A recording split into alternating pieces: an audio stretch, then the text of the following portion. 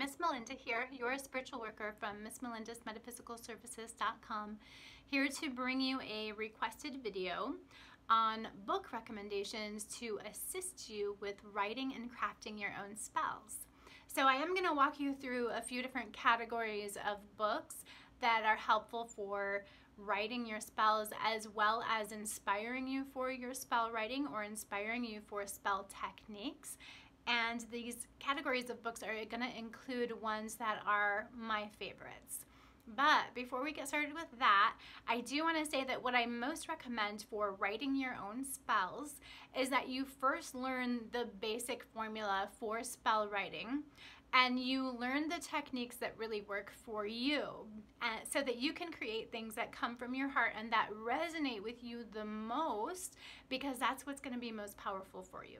So that means finding the best way for you to raise energy, the best way for you to direct energy and also finding the tools and the methods and the techniques that resonate the best with you as an individual. These spells that come from you and that are hand tailored to you are going to be the most powerful spells, regardless of what anybody else does or what anybody else writes about.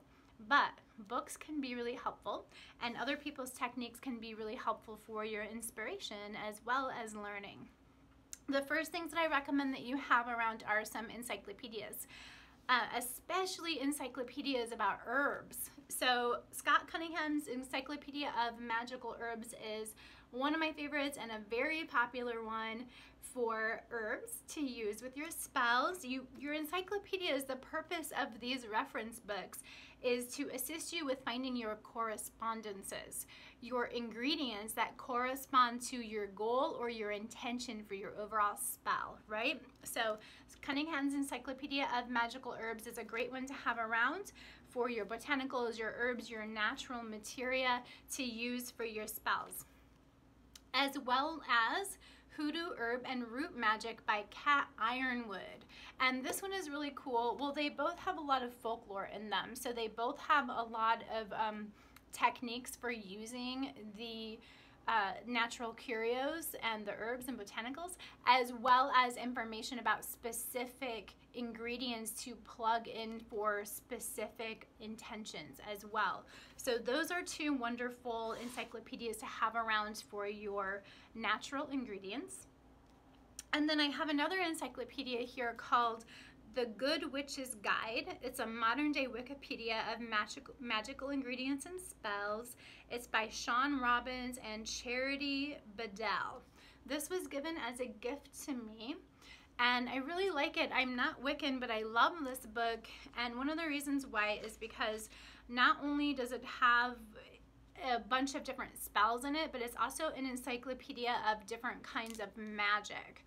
So this is really useful, or an encyclopedia like this is really useful to get ideas for different ways that you can approach your magic or approach your spells, right? So that's a wonderful encyclopedia to have around. And then of course, Judika Illes, she's one of my favorite authors. This book is huge. This is the Element Encyclopedia of 5,000 Spells. So you can look up any need, any intention, any type of situation, and this is going to have a huge um, cross-cultural selection of different kinds of spells, different kinds of approaches that you can use for all different kinds of intentions. You can learn so much from a book like this. It references um, all kinds of different cultures and traditions and it goes back in history. She's an excellent um, compiler and researcher of information. I highly recommend any of her encyclopedias. Another thing that I recommend is that you have some references a book reference books around that refer to numerology. Um, numbers are really powerful like the number of ingredients for instance is one way that you can use numerology in your spell work but there are lots of other ways to use numerology in your spell work and this can be a really powerful component to add energy to add power to your work especially if it highly resonates with you. This predictions library book is a really simple little book, um, but it's a whole series. They have one for tarot, they have one from palm reading, but I find them actually to be really practical and really informative, even though they're just these tiny little intro books. Something like this is really helpful for having a reference for numerology around. Then I have the Success Dream book by Professor De Herbert. And this is an old book from like the 30s. I believe. I probably shouldn't be using time to look up the year, but I think this is from the 30s and these old dream books used to be really popular in folk magic and people use their the their dreams to um, to predict the numbers that they would use in a lottery, for example, but these books are encyclopedias of numerology that go so much deeper than that. I highly re recommend having something like this around. Um, these are really interesting and really useful, especially if you're really into numerology. Um, even from a historical perspective, they're really useful. And then my next category of books that I have are books of other people's spells that are inspirational to me. So that's the next category of books that I recommend that you have are some books um, written by people that are inspirational to you or have spells in them that are inspirational to you so that you can get a good, well-rounded idea of how other people write their spells and you can get inspiration for your own. So Scott Cunningham's Earth Power is a really interesting book that shows you how to make magic without using much tools at all. You're only using um, the elements and you're only using um, natural tools. So things like the wind, things like leaves, things like water. This is all about just working with nature and performing magic or casting spells in conjunction with nature in that way. This char Charm Spells and Formulas by Ray Malbrough. So I really like a lot of his work.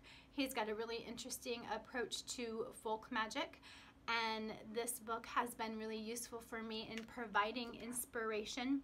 Um, some of his candle candle rituals get very intensive and it's really interesting to see how you can make a candle service into something um, really complex and really rich and really multi-layered.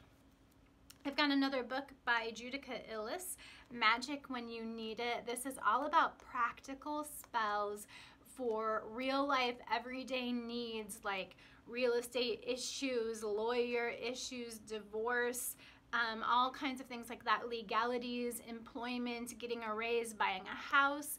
So it's really nice also to have a well-rounded range of um, references for different types of spells, right? So whereas somebody like Malbrough may be a little bit more spiritual, this book by Judika Illes is much more practical. So looking at spell writing or the context of casting spells and making magic in uh, from a lot of different perspectives and a lot of different needs, really useful.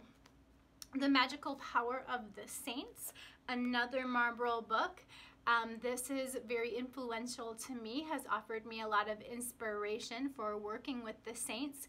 Um, he has a lot of variety in this book, including interpretations for um, your candle magic, interpretations of the flames, of the smoke, etc. And then the last one is Old Style Conjure by Starr Cassis. I still don't know if it's Casas or Cassis or if I'm saying that remotely correctly, but Old Style Conjure is a really um, inspirational book. Um, it talks about magic from a really down-to-earth perspective, shows you how things can be performed in your household, in your everyday life, using bare bones ingredients, um, really down to earth folk magic and a really nice historical perspective on folk magic as well. So I hope that you're inspired by some of these books. I thank you so much for watching and I wish you many, many blessings.